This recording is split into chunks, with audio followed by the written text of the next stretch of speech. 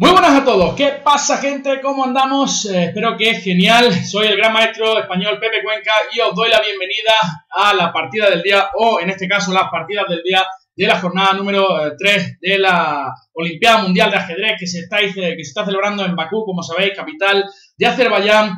Y eh, bueno, ya sabéis que desde Che24 estamos prestando especial atención a, a los equipos tanto español como de toda Latinoamérica ¿verdad? Y bueno, ahí los tenemos dando guerra, ¿no? Hay que decir que tras la ronda número 3, eh, los principales favoritos como Rusia, eh, China, Azerbaiyán, etcétera, siguen sumando eh, victorias. Y bueno, nuestro equipo han peleado muy duro, ¿no? Por ejemplo, el equipo argentino ha tenido ciertas opciones, ¿no? Contra el equipo estadounidense. Precisamente una de las partidas del día la vamos a sacar de ese encuentro. Y bueno, el equipo español también ha conseguido empatar contra el equipo francés, aunque si bien había algún momento en el que pensamos que podíamos incluso ganar ese encuentro con una victoria de Iván, Salgado que ha estado apretando hasta el final, Iván, pero no ha podido ser. y bueno, el equipo peruano ha empatado, ¿no? y bueno, ya podréis seguir, podréis seguir cómo han cómo han salido después de esta tercera ronda el resto de, equipos latinos, no es nuestro amplio reportaje de la ronda número 3. Pero bueno, yo me voy a centrar, como digo, en dos partidas que me han parecido especialmente interesantes. La primera, eh, la que ha tenido lugar entre Sandro Mareco, jugón argentino, y Caro Nakamura, uno de los mejores jugadores eh, del mundo, por supuesto, y qué, eh, qué del jugador argentino que ha estado a punto, a punto, a punto, a punto de conseguir derrotar a Ikaru, ¿no? Eh, que se dice pronto, ¿verdad? Y la segunda partida que vamos a comentar es la victoria de Junieski Quesada, eh, un potente jugador del potente equipo cubano que ha reventado a la selección polaca, una de, las mejores, ¿verdad? Así que bueno, sin más, me dejo de rollo, ¿verdad? Y me pongo a ver qué es lo que ha sucedido en las 64 casillas y espero que disfrutéis tanto como yo. Bueno, pues Santo Mareco decide abrir con caballo F3 y Caru T5, C4, ¿no? Por supuesto, aquí muchas posibilidades. C6, C6, pero Ikaru decide optar por D4, una jugada que gana en espacio en el centro y eh, las blancas eh, optan por B4, aprovechando que ahora pueden eh, ganar a su vez espacio en el, flanco de gama, ¿no? Es una, una, apertura que no es tan común, ¿verdad? No vemos tan a diario, en, sobre todo en las partidas de élite, pero que es muy interesante, ¿no? Alfil G4, precisamente una de las ideas de la blanca es jugar con fianchetto con el alfil en, en, G2, y bueno, tras G3, que lo que se jugó en la partida, las negras cede la pareja de alfiles a cambio de eh, destrozar eh, o eh, empeorar la estructura de peones blanca, ¿verdad? Tras E por F3, obviamente el blanco tiene peones doblados, ¿no? Y aquí A5, ¿no?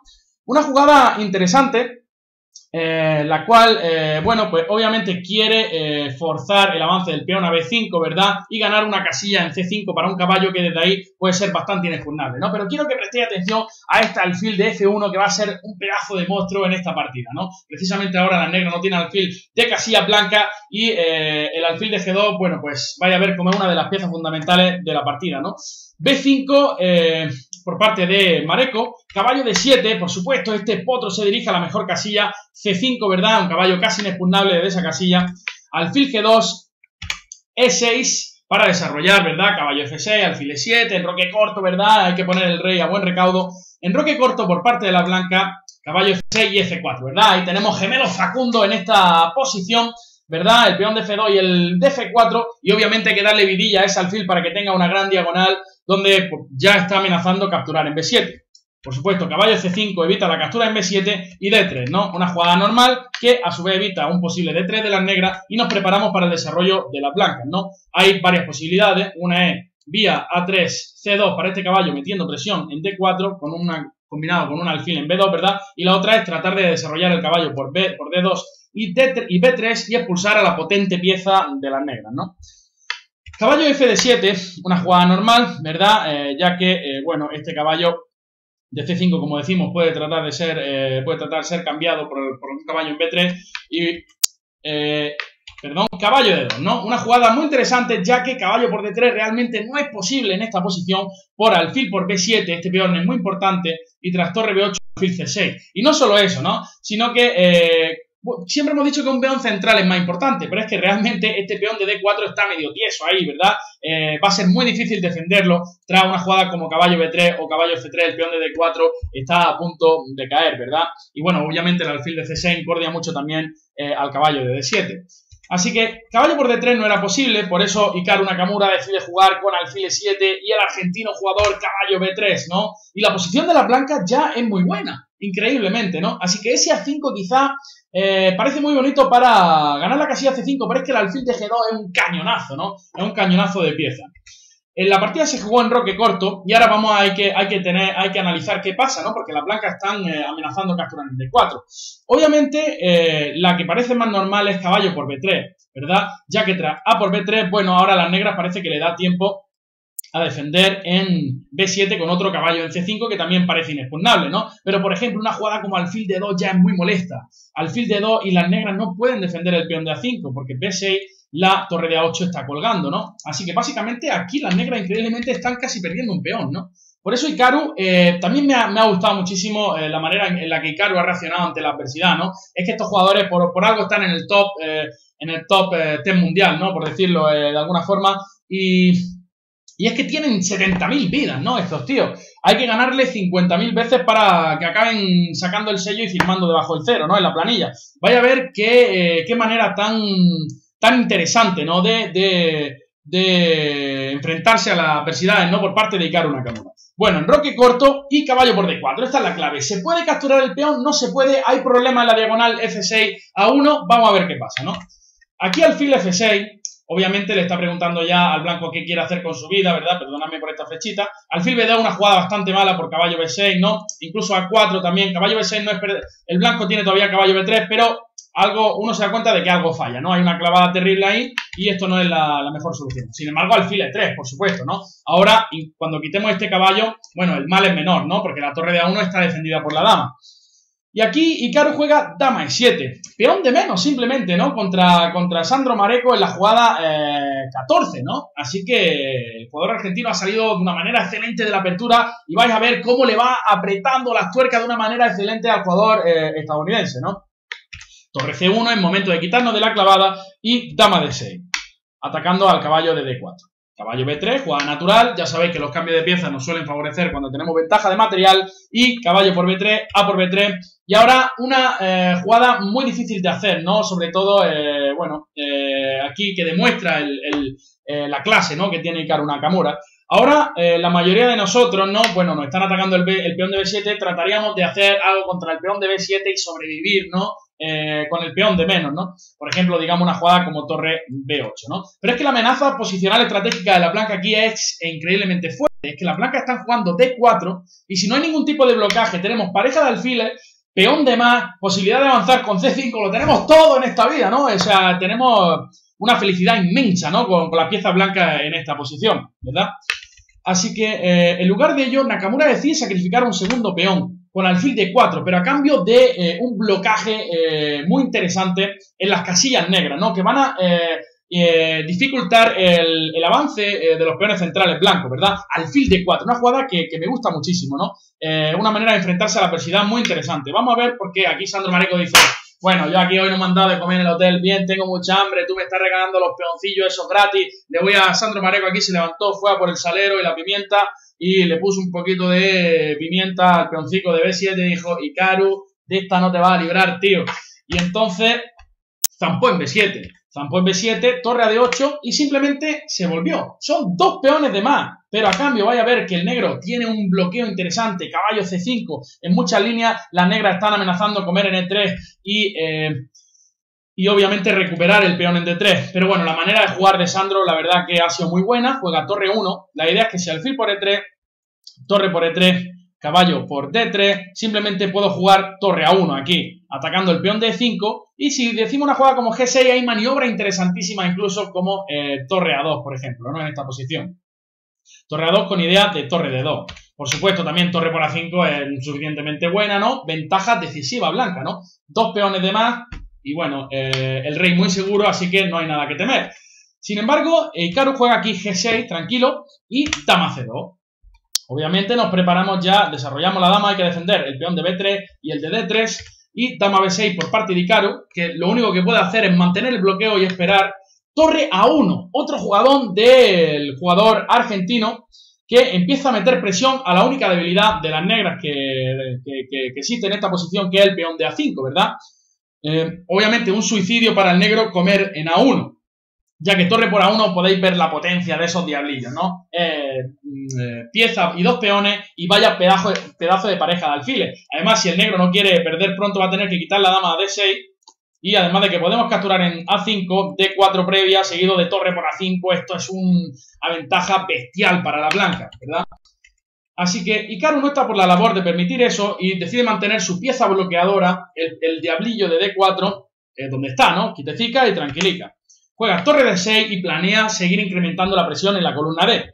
Torre de 6. Alfil por D4, torre por D4 y torre de 3, ¿no? Y ahora el blanco se prepara para presionar el peón de A5, la debilidad que queda eh, en esta posición para las negras. Torre F de 8, torre de 1 para defender primero en D3, ahora se juega torre, probablemente un alfil de 2 para defender en D3, dama C3 y la torre puede volver. Dama D6, juega dama C3, dama B6 y H4. También le damos un airecito al rey, provocamos H5, ya que si no podemos pensar eh, nosotros en jugar H5 y un H6 que siempre también pondría muchísimos problemas al, negro en la diagonal, ¿verdad? Aquí una jugada que también uno podría pensar, o que se me está ocurriendo más o menos aquí ahora mismo en, eh, en la posición, es la jugada alfil, por de, alfil de 5. Y bueno, también es muy interesante, ¿verdad? Alfil de 5 en esta posición. Alfil de 5, torre por D3, torre por D3, Vamos a ver si me hace caso el programita, caballo por D3 y torre por D3 y E por D5, ¿no? Pero quizás Sandro no estaba tan seguro de que pudiera convertir eh, este final, ¿verdad? Ya que, bueno, tras C por D5, el peón de B5 está tocado, etcétera. Sin embargo, también la ventaja es bastante clara. Prefirió eh, jugar H4, como digo, provocando H5, ¿no? Y ahora la posición del rey en ciertas líneas, como vais a ver después, es más vulnerable, ¿no? Así que, por supuesto, esta inclusión del H4 H5 creo que le favorece bastante al jugador argentino. Alfil 2 con idea de desplazar la torre a A1, ¿verdad? Para zamparse el peón de A5. ¡Qué bien está jugando Sandro Mareco! ¡Qué potencial tiene el equipo argentino! ¡Qué bien me caen los argentinos también! C6. Ahora, obviamente, eh, la idea de las negras eh, tiene que, ser responder eh, de una manera dinámica, ¿no? Porque es que torre A1 y, dama por A5 está viniendo, ¿no? Y, ¿qué va a hacer? Va a poner una torre en A8. Entonces sí que podría volver al alfil F3, ¿no? Y una torre, si se queda en A7, mete un alfil en C6 y no juega en la vida, ¿no?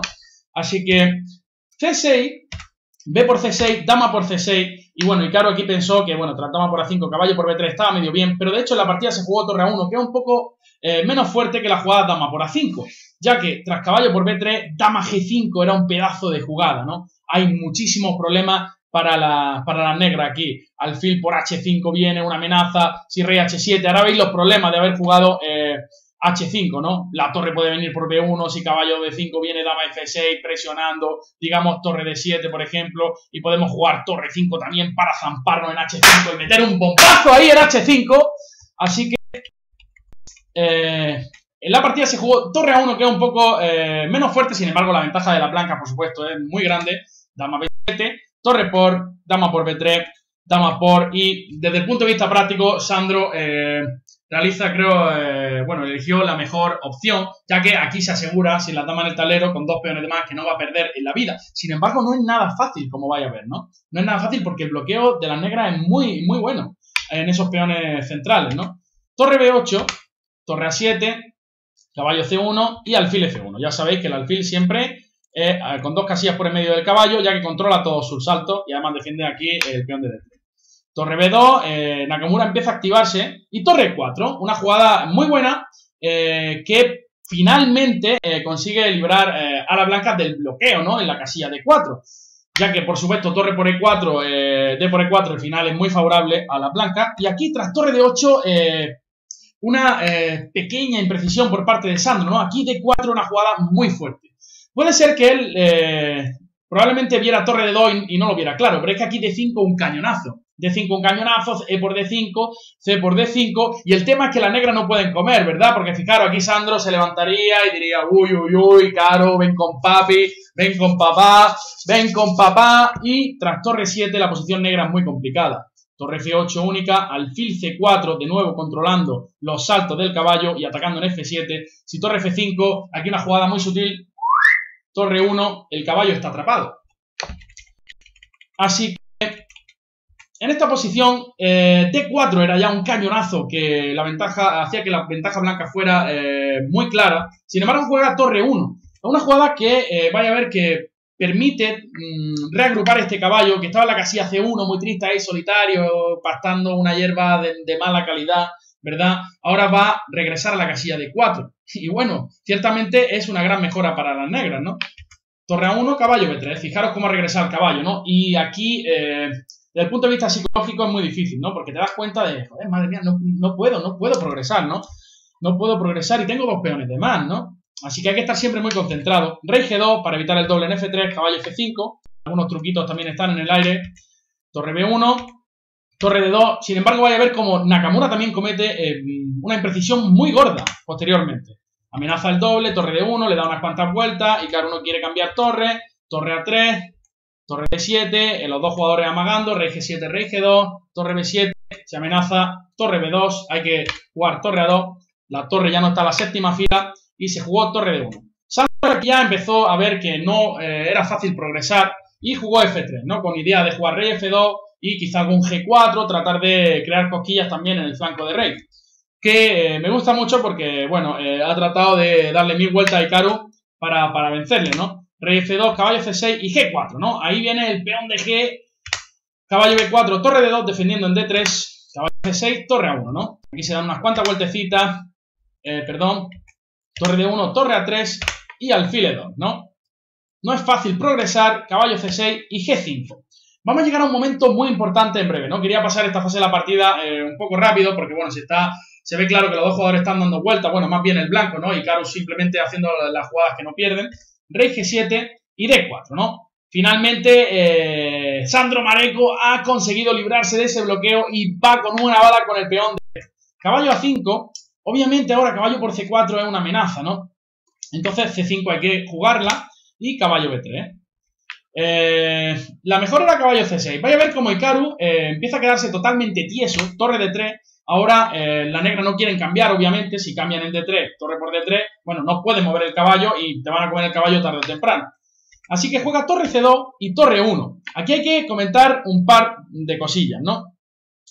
por ejemplo, la jugada Torre B1, que os puede parecer muy normal para comerse el caballo de B3, viene torre A a 2, ¿vale? Y luego hay un caballo C1 además y hay mucha presión sobre el alfil de D2. De hecho, la máquina dice que ya es igualdad, ¿verdad? Así que Sandro juega eh, torre E1. Torre E1 en esta posición, que puede ser muy útil precisamente contra toda esa variante. Ahora torre A2 no es posible por torre por B3, profilaxis contra torre A2, presionando el diablillo de E2 y eh, la partida se juega torre B2. C6, empezamos a correr con el peón. Ahora en la partida se jugó torre A A2. Hay que decir que si torre C2, entonces ahora había una jugada muy potente, que era por ejemplo rey G3, ¿vale? Desclavándonos y tras torre por C6, que parece muy eh, normal, por ejemplo, alfil de 1 y tras torre B6, torre 3. Y el caballo está completamente clavado y en habría tenido que rendirse. Sin embargo, tras torre 1, las negras jugaron torre B2 con idea de poder desclavarse con la torre de A. C6, torre A2, la única que aguantaba aquí era torre A8. y aquí es donde eh, Sandro Mareco comete un error fatal que permite a Ikaru em, entablar la partida, ¿no? Aquí hay una jugada increíblemente fina que me encanta, o sea, que cuando estaba analizando la partida he dicho, qué belleza, ¿no? Qué, qué, bello el ajedrez. Y es que aquí C7 se nos va a todos de las manos, ¿no? Sobre todo C7 se nos va a todos de las manos porque uno piensa que la única jugada es o torre A8 o torre C2, ¿no? Torre C2 obviamente nos zampamos el potro de B3 y torre A8 eh, obviamente no es la mejor jugada, simplemente rey E3 y bueno, quiere torre C3 después y este peón va a coronar, ¿no? Cuidado que hay una fila 6 también.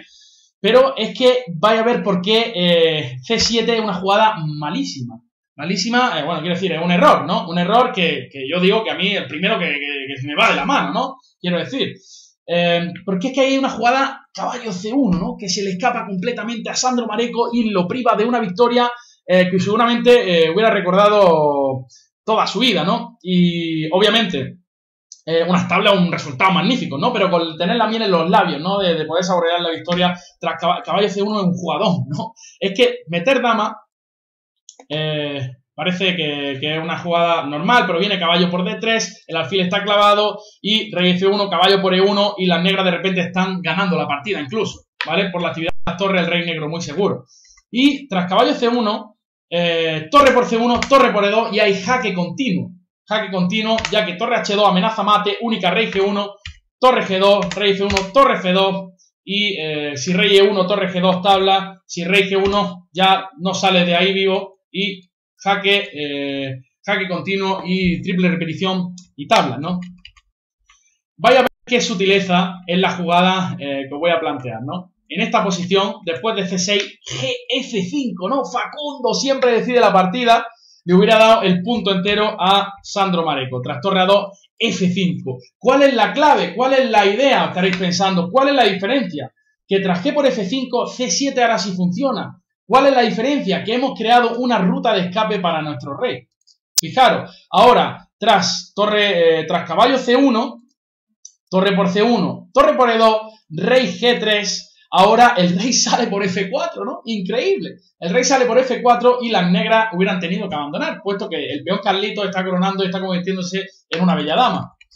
Así que eh, fijaros que mm, el ajedrez qué difícil es, ¿no? Y hay que estar súper concentrado para ser capaz de arañarle, eh, de, ganarle, ¿no? A estos tíos que, tienen, como digo, 5.000 vidas, ¿vale? Eh, además, trae F5, trae F5, G por F5, C7, si quieres volver con la torre, simplemente, como digo, torre C3, torre C3 y bueno, a la siguiente, eh, eh, cuando torre C8, el alfil tarde o temprano, después de rey E3 va a venir a A6 y el blanco va a acabar ganando la partida, ¿no? Así que partidón de Sandro Mareco igualmente, eh, que quien consigue unas tablas contra Icaro Nakamura, ¿eh? se habla muy fácil y muy pronto, pero por supuesto, enhorabuena a Sandro Mareco y al equipo argentino que ha dado una lucha interesantísima y que nos ha tenido emocionados ¿no? en la retransmisión de, de Che 24. ¿no? Así que bueno, ahora me voy a pasar a eh, la partida del jugador cubano Junieski eh, Quesada, que bueno, es un jugador fortísimo, ¿verdad? Y hoy lo ha demostrado con una clase magistral ante eh, Bartel Mateus, jugador fortísimo polaco también. Ya sabéis que los cubanos eh, cuentan sus matches por victorias, así que, bueno, pues quién sabe, ¿no? Si, si vuelven a dar la sorpresa. Ya sabéis que, por ejemplo, en la Olimpiada pasada lo hicieron fenomenal. El cubano Isan Ortiz, de hecho, además consiguió una medalla, ¿no? Una medalla individual.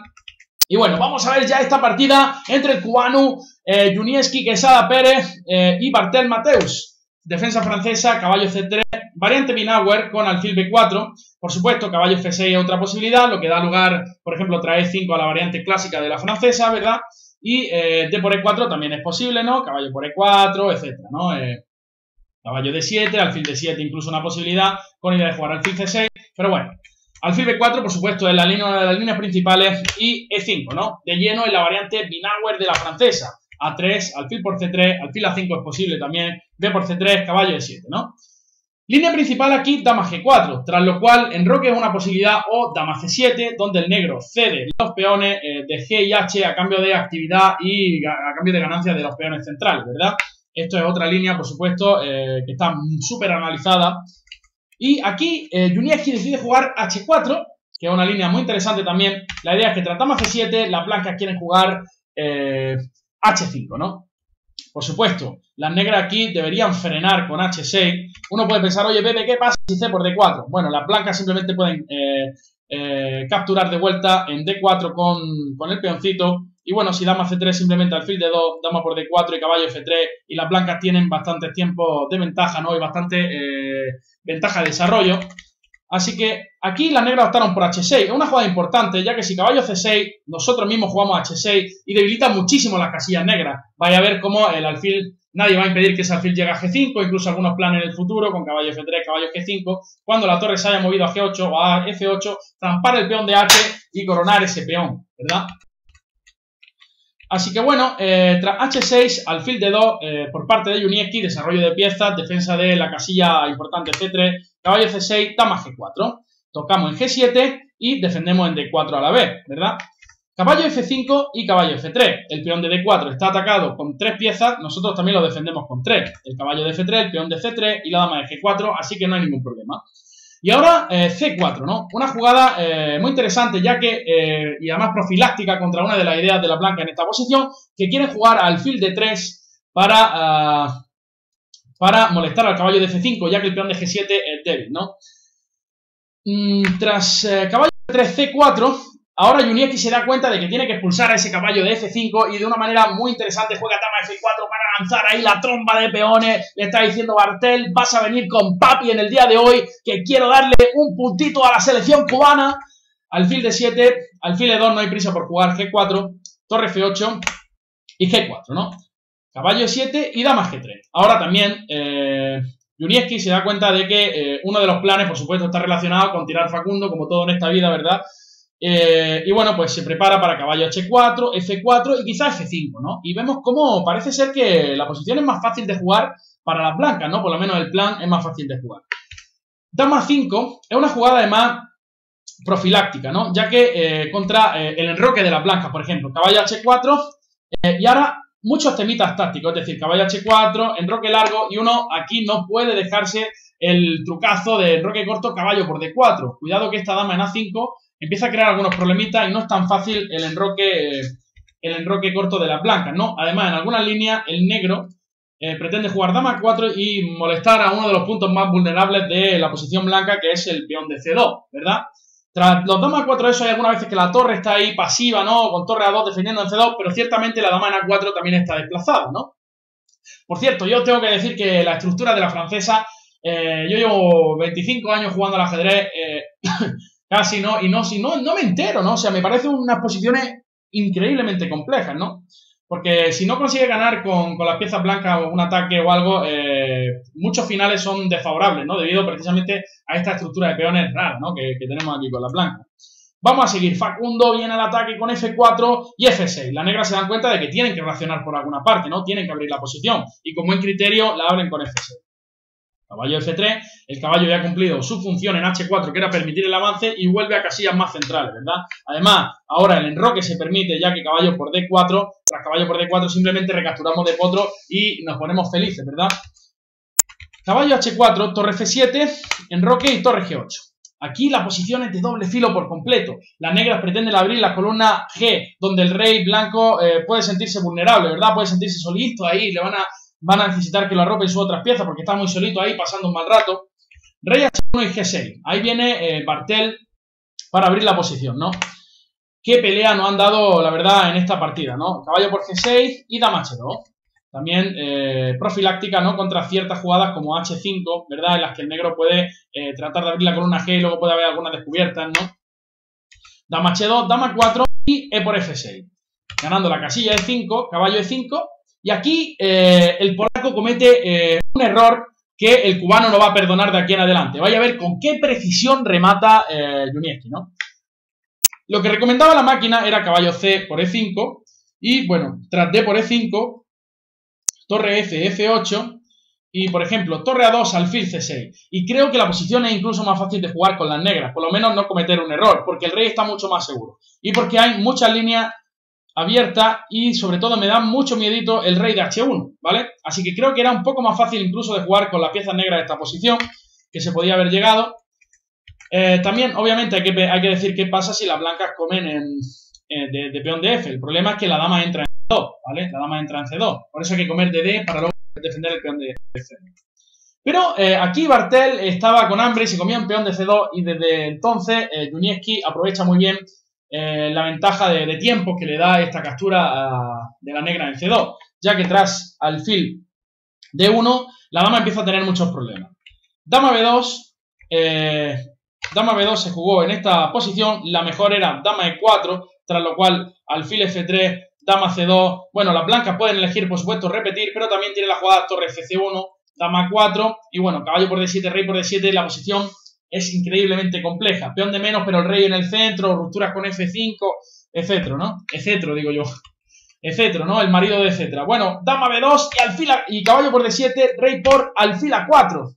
Alfil A4, las blancas amenazan torre CB1, la dama está encerrada, por eso la dama tiene que huir de ahí y solo hay una casilla para huir, que es la retirada por B6. Y entonces aquí Juniaki dice F5, vamos con Facundo aquí al ataque, F5 abriéndole la panza a Barteul Matés, Mateus Bartel, perdón, F5, G por F5, torre por F5. Esta torre se incorpora al ataque. Fijaros cómo ahora se siente que esa captura en C2 ha sido demasiado arriesgada. La posición está demasiado abierta para las negras. Torre 6 se jugó. Hay que decir que ya la posición aquí era muy complicada, ¿no? Bueno, torre de 6, viene torre F7 sencillamente, y si caballo E7, por ejemplo, dama E5, ¿no? Y aquí se está amenazando un babón brutal, ¿no? Viene la otra torre también, alfil F4, ¿no? Eh, si torre 6, dama por D5, la posición está para llorar, ¿no? Mm, torre por F5, torre E6, torre por D5, rey 8 y torre de 6, ¿no? Se jugó torre 8, alfil C2, fijaros qué potencia viene ahora el alfil a F5 y hay muchas descubiertas, si rey viene a D8, un torre por G6 por ejemplo, es un babón brutal de eh, caballo E7, torre 1, se jugó dama B2, fijaros qué clase le está metiendo alfil H7, eh, torre H8, ya sabéis que no se puede capturar en G4, ¿verdad? No se puede capturar en G4 aquí, por ejemplo, incluso la jugada torre B1 o D5, incluso ya también gana la partida aprovechando que la torre está indefensa, torre H8, alfil E4, dama por A3, D5, ¿no?